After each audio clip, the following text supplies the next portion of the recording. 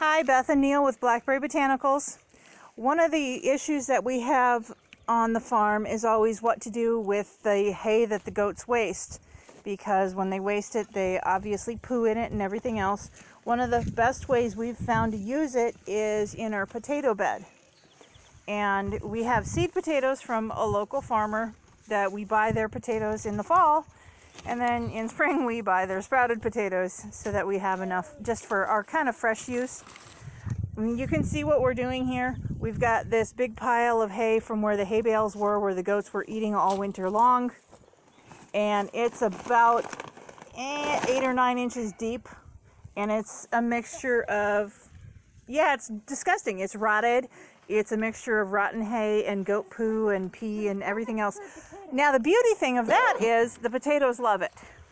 And again, because we're on a hillside and everything we have is all, it has to be tiered. So you can see we have a large log here. Now, this side of the bed, while it doesn't look all that great, is already planted with the potatoes. And I'll show you real quick how we do it. We're gonna roll out the potato, we're gonna roll out the mulch like this, and then we take the sprouted potatoes, and then literally all you do is set them about a foot apart. And then, right, then we throw a good cover of mulch over the top of them. Now they will grow down into our soil, and luckily, potatoes don't mind poor soil as long as they have good mulch on top with fertilizer. stuff right here. Yeah, they'll they'll grow in. You know, this is hard pack right here. We're actually on the edge of our driveway. This is just a wasted space that we're using, And it works really well.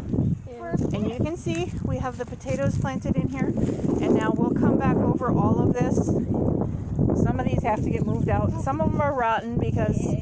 they've just been sitting out, but we've got nice sprouted Potato. baby potatoes Like to start our plant our bed with. And This is a dry we'll be potato. covering it nice and deep with mulch, Bubba. You want to get in there too, right? Everybody apparently wants to be on camera today. Yeah. So we lay out our rows, we bury it deep. It gets about a foot or so of mulch on top of it, See like that? between the bottom and the top, and then leave them alone. Ignore them until the tops come up, and when the tops die back, then you dig the potatoes. And then this mulch is worked into the soil and it helps amend our clay soil, which Yes. is a challenge here.